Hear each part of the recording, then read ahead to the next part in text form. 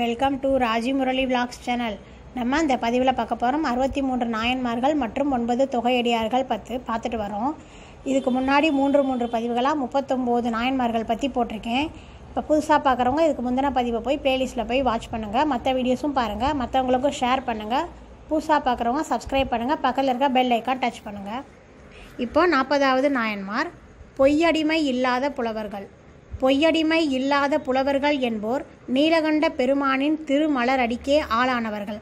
அதுவே மெய்யுணர்வின் பயன் என்று துணிந்து விளக்கியவர்கள். இவர்கள் செய்யுள்களில் திகழும் சொற்களை பற்றி தெளிவும் செம்மை தரும் பயனுடைய நூல்கள் பலவற்றை பயின்ற ஆய்வு உணர்வும் உடையவர்கள்.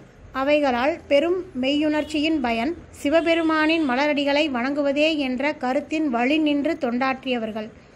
சிவபெருமானின் செயலையன்றி வேறெதையும் வாய் திறந்து பாடாத நெறியில் நின்று தொண்டு செய்த மெய்யடிமையுடையவர்கள்.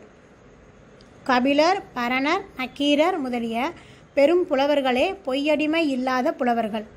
கலைகள் யாவும் ஓதி உணர்ந்த அவர்கள் கவிகள் பாடுவதில் வல்லவர்கள். தில்லை நடராஜ பெருமானின் திருவடிகளை வணங்கும் பண்புடையவர்கள். நாற்பத்தி ஓராவது நாயனார் புகழ்ச்சோழ நாயனார். திருச்சிராப்பள்ளி உறையூரில் அவதரித்து அவ்வூரை ஆட்சி புரிந்த புகழ் சோழனார். தன் ஆட்சிக்குட்பட்ட எல்லா சிவாலயங்களிலும் தினம் பூசைகளும் திருவிழாக்களும் நடக்குமாறு செய்து வந்தார்.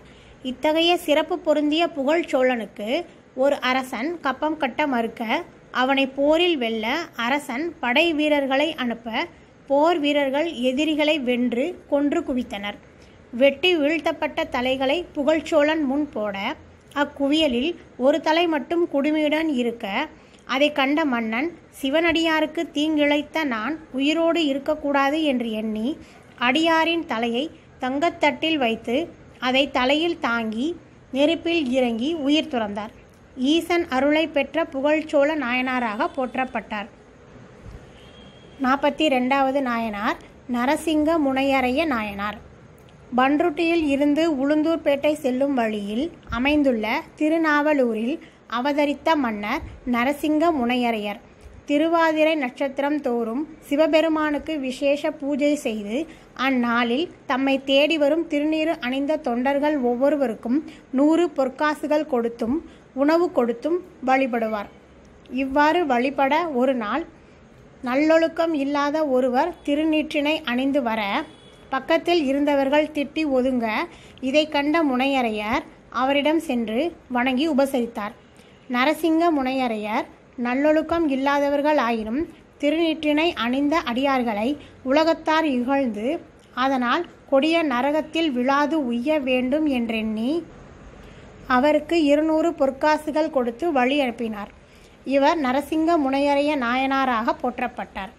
ஓகே ஃப்ரெண்ட்ஸ் இந்த பதிவு பிடிச்சிருந்தா மற்றவங்களுக்கு ஷேர் பண்ணுங்கள் நாற்பத்தி மூணு நாற்பத்தி நாலு நாற்பத்தி அஞ்சாவது நாயனார் அடுத்த பதிவில் பார்ப்போம். Thank you friends